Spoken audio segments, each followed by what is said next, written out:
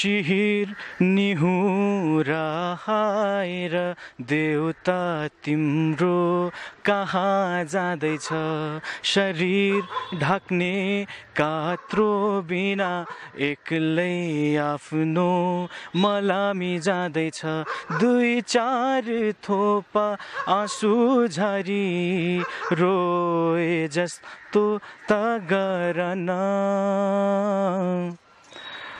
राम नाम जप्दै मन मनमा राम नाम जप्दै मन मनमा राम नाम जप्दै मन मनमा राम नाम जप्दै मन मनमा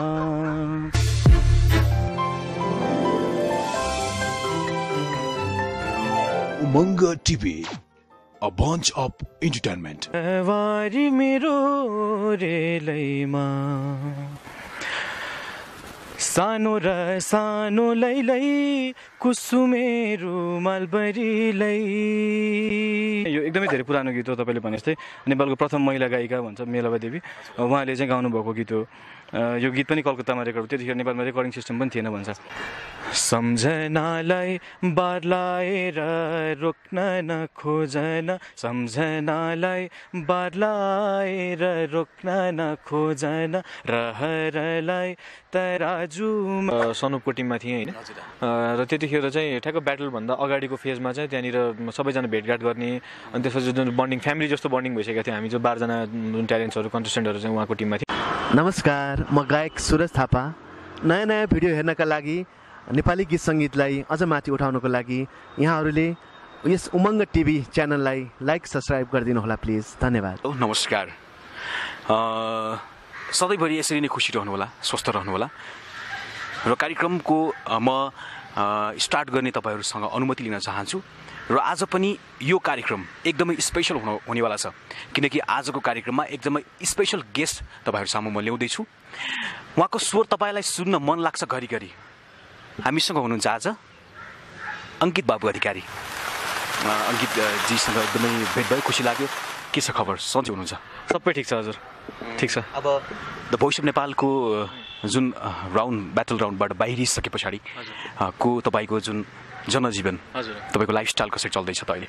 अहिले त्यहाँ व्यस्त छु आफ्नो प्रोजेक्टहरूमा भर्खरै मात्रै एउटा गीत रिलिज गरियो होइन? हजुर।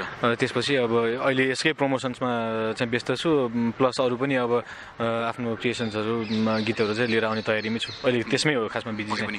अब द भोइस अफ नेपाल नेपालको एक बिग रियालिटी सो पनि हो। अनि त्यसपछि अन्तर्राष्ट्रिय स्तरमा पनि यसको आफ्नो राम्रै छवि छ। तपाईँले के सोच बनाएर जानुभएको थियो भोइस अफ नेपालमा? जुन तपाईँ ब्लाइन्ड अडिसनमा पुग्नुभयो के सोच बनाएर जानुभएको थियो? र त्यो सोच कतिको मिट भयो कि भएन? हजुर। मैले चाहिँ खासमा भोइसमा जानु पछाडिको चाहिँ मेरो मेजर इन्टेन्सन भनेको के थियो भन्दाखेरि मैले जुन बाहिर आफ्नो कामहरू गरिरहेको थिएँ त्यसको एउटा एउटा एक किसिमको सर्कलमा चाहिँ त्यो त्यसको राम्रै थियो इम्प्याक्टहरू तर पनि अझै बढी मासमा जानलाई चाहिँ एक्सपोजर अझै पुगिरहेको छैन पुगिरहेको थिएन मेरो कामहरूलाई चाहिँ। र भोइस अफ नेपाल चाहिँ एउटा इन्टरनेसनल प्लेटफर्म त्यसपछि त्यसमा त्यसले जुन चाहिँ हाइप लिनेवाला थियो जुन चाहिँ सबै हामी म, पहिलेदेखि फलो गरिरहेकोहरूले सबैलाई थाहा थियो होइन? अनि त्यहाँ जाँदाखेरि चाहिँ मैले चाहिँ त्यो जुन एउटा प्लेटफर्म जुन मलाई चाहिरहेको थियो हो त्यो चाहिँ मैले पाउँछु कि जस्तो चाहिँ मेरो एउटा फिलिङ्सले गर्दाखेरि चाहिँ म त्यसमा गएको हो। त्यो भोइसमा गएर जित्छु अथवा चाहिँ एकदमै त्यो धेरै ठुलो एक्सपेक्टेसन मेरो केही पनि थिएन। खासमा त्यहाँ जाउँ त्यहाँ गइसकेपछि चाहिँ आफ्नो एउटा एक दुईवटा प्रस्तुति गरिसकेपछि चाहिँ जुन मार्केटले अथवा जुन चाहिँ अडियन्सले श्रोता दर्शकहरूले चाहिँ जुन चिन्नुहुन्छ त्यसले चाहिँ मलाई पछि आफ्नो कामहरू गर्न सजिलो हुन्छ भन्ने किसिमको एक्सपेक्टेसन हो। भनेपछि त्यो सजिलो पनि भइरहेछ पक्कै पनि। र भोइस अफ नेपालको जुन भित्र त्यो क्याम्पभित्र चाहिँ कस्तो थियो इन्भाइरोमेन्ट यसो तपाईँले त्यहाँ त धेरै बस्नुभयो तपाईँ। कस्तो लाग्यो तपाईँले? भोइस अफ नेपालभन्दा जानुभन्दा अगाडि सोचेको कुरा अब यस्तो हुनसक्छ त्यहाँ। यस्तो हुनसक्छ भनेर तपाईँले जुन माइन्ड मेकअप गर्नुभएको थियो नि। त्यो चाहिँ कतिको पाउनुभयो तपाईँले? भोइस अफ नेपालको जुन क्याम्पभित्र चाहिँ। भोइस अफ नेपालमा चाहिँ म कोच सनुपको टिममा थिएँ होइन। र त्यतिखेर चाहिँ ठ्याक्क ब्याटलभन्दा अगाडिको फेजमा चाहिँ त्यहाँनिर सबैजना भेटघाट गर्ने अनि त्यसपछि जुन बन्डिङ फ्यामिली जस्तो बन्डिङ भइसकेको थियो हामी जो बाह्रजना जुन ट्यालेन्ट्सहरू कन्टेस्टेन्टहरू चाहिँ उहाँको टिममा थियौँ। सबैजनाको चाहिँ एकदम इन्फर्मल रिलेसन फर्मल रिलेसन होइन। सबैजना चाहिँ एकअर्कालाई सपोर्ट गर्ने सँगसँगै भेट्ने होइन। त्यो भोइसको प्लेटफर्मभन्दा बाहिर पनि हाम्रो भेटघाट अहिले पनि भइरहेको हुन्छ होइन त्यो त्यो किसिमको चाहिँ एउटा फ्यामिली इन्भाइरोमेन्टमा चाहिँ एक्सपोज हुने मौका पाएँ मैले भोइसमा गइसकेपछि। त्यो इन्भाइरोमेन्ट चाहिँ सबै हुन्छ नि अब त्यो भोइसको त्यो सेटमा त्यहाँको क्रुजहरू त्यहाँको चाहिँ सबैजना जो जो इन्भल्भ हुन्छ सबैजना क्यामेरादेखि लिएर होइन लाइट्स डिरेक्सन डिरेक्सन सबै सबै सबै टिमबाट चाहिँ एकदमै एकदमै फ्रेन्डली इन्भाइरोमेन्ट थियो। त्यसले चाहिँ हामी सबैलाई चाहिँ एकदमै त्यो रमाइलो गर्ने त्यो गर्ने वातावरण चाहिँ एकदमै राम्रोसँग मिलाएको थियो। अब जुन ब्लाइन्ड अडिसनमा ब्लाइन्ड अडिसनमा तपाईँले गीत गाउनु भएको थियो त्यो गीत साँच्चीकै मन छुने पनि गीत थियो। अ, धेरैको मन पनि जित्यो। त्यो गीत सुनिसके पछाडि तपाईँले भोइस अफ नेपालमा पर्फर्मेन्स दिइसके पछाडि र सनुप पौडेलले चाहिँ तपाईँलाई टर्न गर्नुभयो। सनुप पौडेलले चाहिँ तपाईँले लिनुभयो। र अहिले चाहिँ दर्शकहरूको लागि चाहिँ त्यही गीत तपाईँले गाउनुपर्ने हुन्छ। Sure sure. थोरै म गाउँछु। सवारी मेरो रेलैमा सवारी मेरो रेलैमा। सानो र सानो लैलै कुसुमेरू मलबरीलै सानो र सानो लैलै कुसुमेरू मलबरीलै जान तिमीले पायौ कि सवारी मेरो रेलैमा सवारी मेरो रेलैमा। हजुर। यो गीत तपाईँले कसरी सिलेक्ट गर्न पुग्नुभयो? यो गीत सुन्दाखेरि त एकदमै मजा लाग्ने तर खासै त्यति धेरै सुनेको पनि गीत होइन कि? तर पनि तपाईँले यो गीत चाहिँ सिलेक्ट चाहिँ कसरी गर्नुभएको थियो? मलाई पर्सनल्ली भन्दाखेरि चाहिँ यो एकदमै धेरै पुरानो गीत हो तपाईँले भने जस्तै नेपालको प्रथम महिला गायिका भन्छ मेलावा देवी। उहाँले चाहिँ गाउनुभएको गीत हो। यो गीत पनि कलकत्तामा रेकर्ड त्यतिखेर नेपालमा रेकर्डिङ सिस्टम पनि थिएन भन्छ। अनि त्यति पुरानो गीत हो। एकदमै पुरानो रेकर्ड चाहिँ युट्युबमा भेटिन्छ यसको। मैले चाहिँ मेलवा देवीलाई चाहिँ कसरी फलो गर्न पुगेँ उहाँलाई भन्दाखेरि चाहिँ मेरो गुरु हुनुहुन्छ प्रभुराज ढकाल। उहाँको पनि गुरु उहाँको चाहिँ बुवालाई प्रभु प्रभु सरको चाहिँ बुवालाई चाहिँ मेलवा देवीले सिकाउनु भएको होइन। अनि चाहिँ त्यो- म चाहिँ त्यो सिक्न जाँदाखेरि चाहिँ त्यहाँ कुरा हुने होइन। त्यहाँनिर हाम्रो हामी सिक्ने कोठामा एउटा मेलवा देवीको फोटो पनि छ। त्यसरी चाहिँ मैले उहाँसँग उहाँलाई चिन्ने मौका पाएँ। र उहाँको गीत चाहिँ यो मलाई एकदमै मनपर्ने गीत किन पनि मनपर्छ भन्दाखेरि यसमा अलिकति सुफी टोनहरू छ होइन। म पर्सनल्ली म अलिकति त्यो सुफी नेचरको त्यो भएको गीतहरू चाहिँ म बढी रुचाउँछु गाउनलाई। मैले फलो पनि त्यस्तै त्यसै किसिमको गीतहरू गर्छु र यो यो गीतमा चाहिँ ठ्याक्कै त्यो एउटा फ्लेभर चाहिँ आउने भएकोले मलाई एकदमै कम्फर्टेबल पनि हुन्छ गीत गाउनलाई। र अर्को एक्सपेक्टेसन चाहिँ भोइस जस्तो प्लेटफर्ममा चाहिँ यो गीत कसैले पनि धेरैले सुनेको पनि हुँदैन। गाउँदाखेरि चाहिँ मलाई राम्रै अटेन्सन चाहिँ मैले पाउँछु जस्तो चाहिँ मलाई फिलिङ्स थियो। अनि त्यही भएरै मैले यो गीत गाउन पुगेँ। अब तपाईँ ब्लाइन्ड अडिसनलाई पार गर्नुभयो। जब तपाईँले गीत गाइरहँदाखेरि चाहिँ गीत सिधिसके पछाडि सनुप अ, दाइले चाहिँ बिचमा चाहिँ तपाईँलाई बच गर्नुभयो तपाईँलाई लिनुभयो।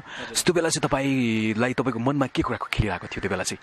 त्यतिखेर उसमा गीत गाउन सुरु गरेँ राम्रै भइरहेको थियो। सुरुमा सुरुको आलाप चाहिँ अलिकति म त्यो आतिरहेको थिएँ त्यहाँनिर।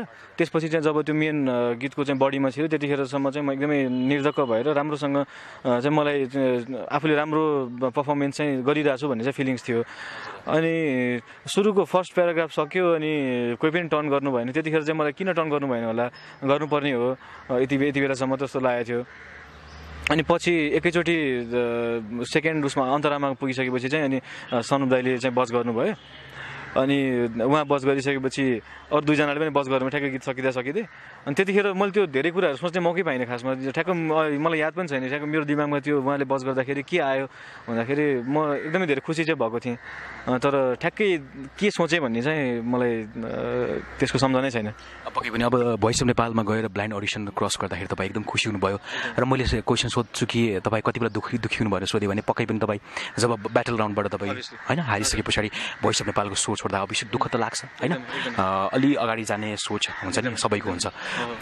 तपाईँलाई जब तपाईँ ब्याटल राउन्डमा हारिसके पछाडि त्यहाँ अझै एउटा अप्सन त बाँकी थियो नि त? हजुर हजुर। अब अझै एउटा अप्सन जीवित थियो। स्टिलमा तपाईँ पर्नुहुन्छ कि पर्नुहुन्न भन्ने कुरा पनि थियो बाँकी चाहिँ। तपाईँको मनबाट कि।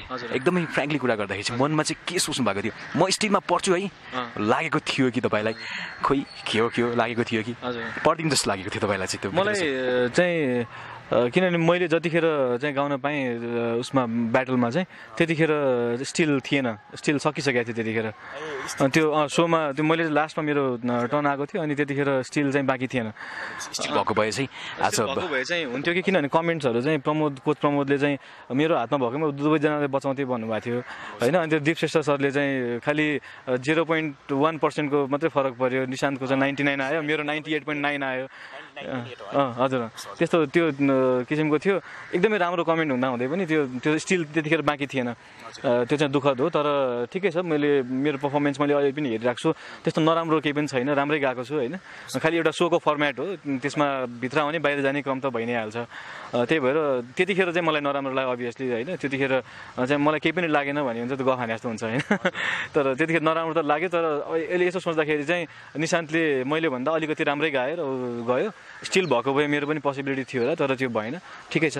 हजुर। अब भर्खरै मात्र तपाईँको एउटा नयाँ गीत पनि आएको छ। योसँग गरेर तपाईँले कतिवटा गीत हाम्रो दर्शक सामु तपाईँले पुऱ्याउनु भयो। मैले टु थाउजन्ड फिफ्टिनमा राम नाम भन्ने गीत निकालेको थिएँ। त्यसको एकदमै राम्रो प्रतिक्रिया थियो। अहिलेसम्म पनि चाहिँ मलाई चाहिँ त्यो गीतले चिनाउँछ भन्छु म चाहिँ। त्यो त्यो त्यो पछि चाहिँ त्यसपछि चाहिँ बिचमा ठ्याक्कै भन्नुपर्दाखेरि सबै गरेर जस मेरो सात आठवटा गीतहरू चाहिँ आइसक्यो होला यो सम्झनालाई शुद्ध गरेर। सम्झनालाई चाहिँ ठ्याक्कै अस्ति मात्र रिलिज भएको छ। सबैले हेरिदिनु होला रमाइलो गरिदिनु होला होइन? एकदम राम्रो बनेको छ। भिडियो पनि त्यत्तिकै राम्रो बनेको छ। अब अहिलेको लागि चाहिँ अब तपाईँको आवाजमा पक्कै पनि सुन्न चाहनुहुन्छ दर्शकले पनि। मैले पनि सुन्न चाहन्छु। त्यो गीत गाइदिनुहोस् न। एकदम मिठो गीत बनेको छ। स्योर सम्झनालाई बार लाएर रोक्न नखोजन सम्झनालाई बार लाएर रोक्न नखोजन रहरलाई तराजुमै जोख्न नखोजन हस् थ्याङ्क यू सो मच यो गीत अ, उसले पनि आफ्नो हिसाबले अगाडि बढिरहेको छ। यो गीत हाम्रो दर्शकहरूले कसरी पाउनुहुन्छ? यो गीत चाहिँ अहिले अहिलेलाई चाहिँ यो युट्युबमा अभाइलेबल छ। युट्युबमा सम्झनालाई अथवा चाहिँ मेरो नाम अङ्कित बाबु अधिकारी टाइप गर्नुभयो भने आइ नै हाल्छ। आठ पाण्डुको च्यानलमा छ यो गीत चाहिँ। अनि त्यो बाहेक चाहिँ अब हामीले यो टेलिभिजनहरूमा अनि एफएम स्टेसन्सहरूमा पनि पुऱ्याइरहेको छौँ गीतहरू। त्यहाँ पनि अब एक दुई दिनभित्रमा अब बज्न थाल्छ। सबतिर होपफुल्ली होइन? त्यो सबैतिर जो सुन्न पाउनुहुन्छ दर्शक श्रोताहरूले चाहिँ खोज्नुभयो भने चाहिँ सुनिदिनु होला माया गरिदिनु होला सेयर गरिदिनु होला सकेसम्म होइन? त्यही नै हो।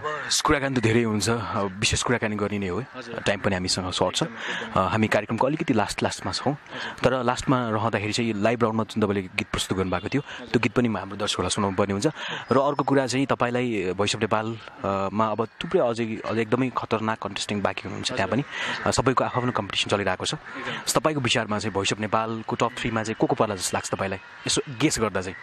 मलाई ठ्याक्कै अब त्यो त्यस त्यसरी भन्न गाह्रो छ। मलाई पर्सनल्ली सिङ्गिङको त्यो टेक्स्चर चाहिँ मलाई म मलाई मनपर्ने भनेको चाहिँ मलाई राहुल विश्वास भाइको एकदमै मनपर्छ।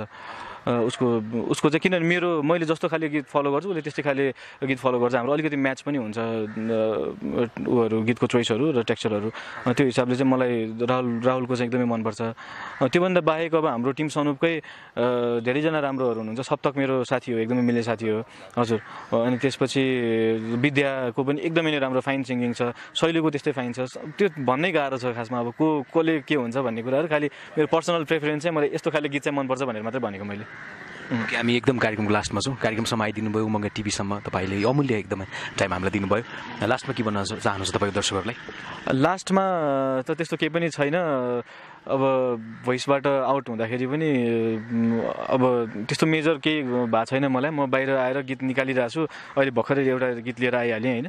र अरू पनि भविष्यमा छिटै छिटै भविष्यमा चाहिँ मेरो गीतहरू चाहिँ आइ नै रह हुन्छ।